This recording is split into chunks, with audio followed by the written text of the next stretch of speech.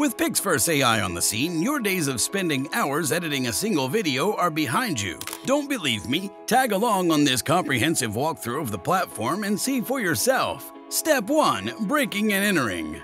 Just kidding, there's no cracking or hacking involved whatsoever. As unbelievable as it sounds, Pixverse is a web-based and completely free video creation platform. So all you need to do is head on over to their website. It looks something like this. Click on the Get Started in Web button over here and the platform will open in a new tab. Again, this is nothing to worry about. It's not a gimmick, it's just something to help improve user experience. Anyway, as you can see, you can log in using two different services. However, if you don't have Gmail or Discord, you can register using a few simple steps. Once you've punched in all your details, you'll get a six-digit code in your mailbox. Enter it and you're in. It was pretty simple, right? And I don't know if you all noticed, but there were no payment details. Zilch! Step 2. Getting down to business. Now that you're in, you'll notice a wide variety of videos on the homepage. If you're low on inspiration, these might come in handy. I, for one, really liked this one of a white dragon. For those of you who've a clear idea of what you want to do, click on the Create button at the top instead. It's got a gradient and should be pretty hard to miss. Upon clicking it, you'll be taken to a creation station of sorts. On your left, you'll notice two options. You can either use text or image to create your desired video. I'll test both. Let's do text first. For the text option, you'll get two dialog boxes. They should be at your left. The first box simply says prompt, which I think is easy enough to understand.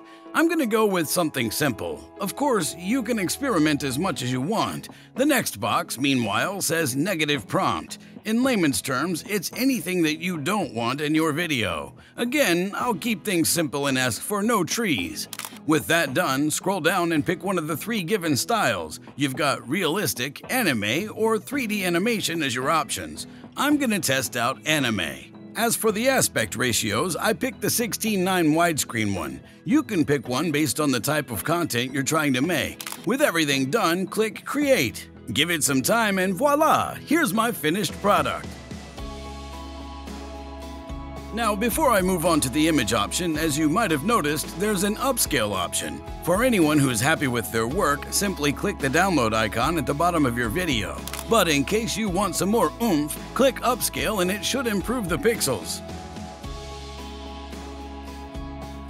Another upside to this platform is that you can stack videos as well. Let me show you with another prompt. I'm gonna start with a clean slate. Let's do bunnies this time around. Since I'm not a big fan of blueberries, let's leave those out.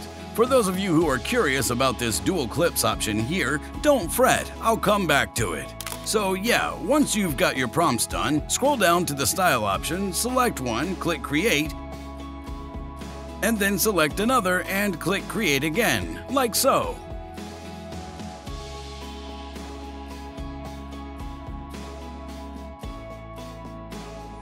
Here's my four videos. They didn't turn out that great, but in the platform's defense, my prompt wasn't either. And that, my friends, is where the dual clips option comes in. It simply improves upon your prompt to give you a clip to compare to your original. With that said, let's test the platform out with an image. As is obvious, you need to upload an image. I chose a sunflower. Now, let's follow this up with a prompt. Down here, you can see a few more options. Go ahead and experiment with them if you like. For instance, you could try cranking the strength of motion up to get a lot more action out of your video.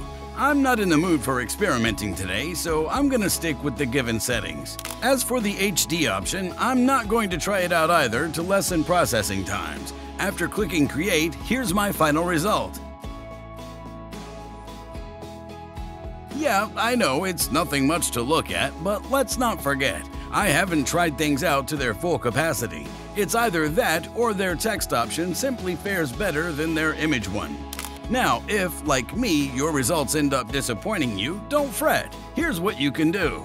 Step 3. Go back to the drawing board.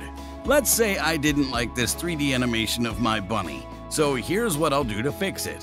I'm gonna click on it. I know there's a lot of other options here. There's this heart option that I'll explain in a bit, and you can also rate your videos like so. Going back to the point, if you want your video to turn out a little differently, click retry. This is going to generate a slightly different video using the same prompt. Take a look.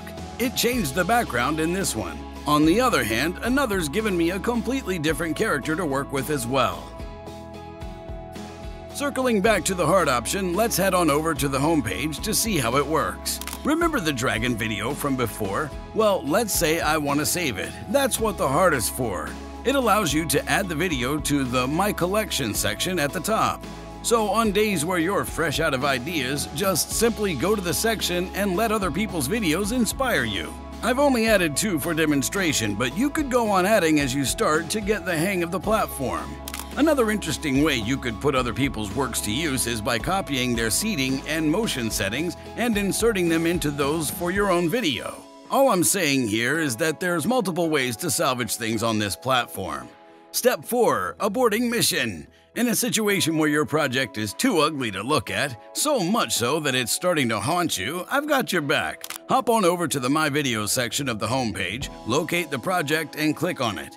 I'm going to get rid of the sunflower. Notice those three vertical dots in the top right corner. Click on them and it should give you two options. Select Delete, click OK on the pop-up box, and lo and behold, you've been delivered. Head back to the creation station and repeat steps 1 through 3 to come up with something better.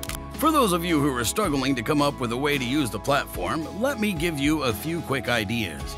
They're all absolutely legal, don't worry. Besides, the platform has some kind of prompt moderator in place, so you wouldn't be able to get away with illegal stuff anyway. This is what popped up when I tried to get it to make a devilish figure walking through hell. Pretty cool if you ask me. Having said that, the first thing that you could do is make faceless YouTube videos on your subject of interest. Not only is it safer, considering how identity theft and deep fakes are on the rise these days, but with enough clicks, you could start bringing in a good amount of passive income as well. Moving on, and as stupid as this sounds, this platform could come in handy for special occasions like birthdays or anniversaries.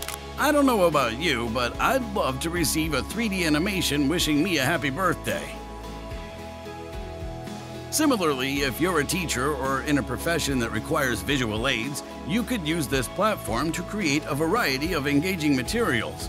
All I'm saying is, there's endless possibilities. Just keep the steps in mind, and in a few days' time, I trust you to come up with something amazing. And let's conclude your crash course on that note. Let me know if you have any questions in the comments down below, like this video, and subscribe for more how-tos.